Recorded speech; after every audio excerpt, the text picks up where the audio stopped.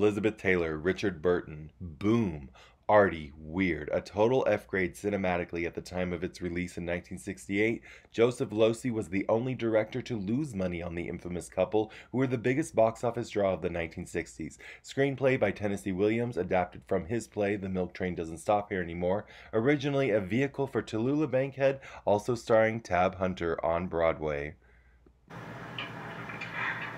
The train doesn't stop here anymore. Most people, like myself, know of Boom because of filmmaker and visual artist John Waters.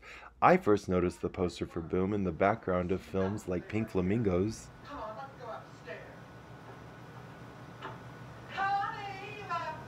And Multiple Maniacs.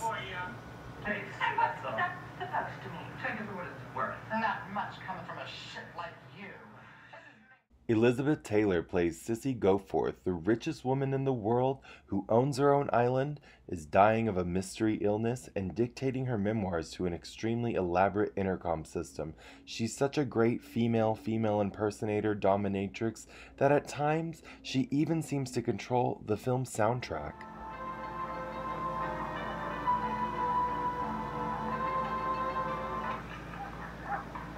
Pity full of Tennessee Williams' brand of melancholy, hilarious, truthful dialogue. to you that life is all memory, except for each present moment that goes by so quickly you can hardly catch it. Oh, now, don't depress me. Oh, no, look, now, look, watch. The film was such a flop upon its release, it was even retitled with one of the lamest rebrandings of all time.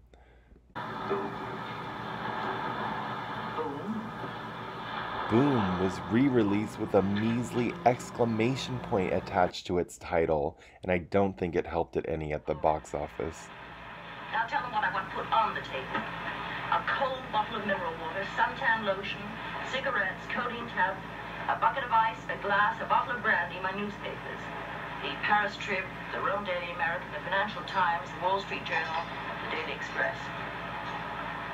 It's that goddamn thing. Roger Ebert said there are different kinds of bad movies. Some are simply wretchedly bad, like, well, you know, and others are bad but fascinating, and Boom is one of these. He gives it an oddly good review, and I sort of agree, even though I don't think Boom is so bad it's good, I think it's so good it's genius.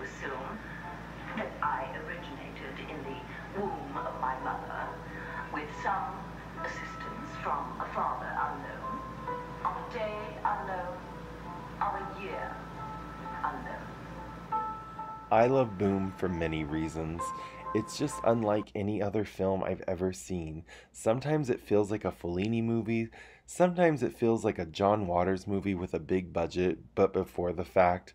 I just love everything about it. It has so many bizarre nuances and definitely takes multiple viewings to absorb all of those. That should be an interesting costume for him. Robe of a professional Japanese warrior. John Waters has stated that he and Divine used to go to the movies, sometimes tripping on LSD, always with the assistance of pot or hash, seeing art films like Inga, I a Woman, Chelsea Girls, or drive-in films like Blood Feast and Faster Pussycat Kill Kill. Divine idolized Elizabeth Taylor and even smoked Salem's, the same brand as her. The more I watch Taylor epics like Reflections in a Golden Eye, The Driver's Seat, Boom, I see the profound influence Taylor had on Divine as a drag archetype type, but also the detailed, hilarious comedy of manners Tennessee Williams wrote and how it influenced John Waters' comedy. What is your reaction to Boom? Should John Waters get the Joseph Losey tattoo he teased about in his 2019 memoir, Mr. Know It All? Leave a comment, like, and subscribe, and thank you for watching our first episode of Strangest Films by Jacob Lomax.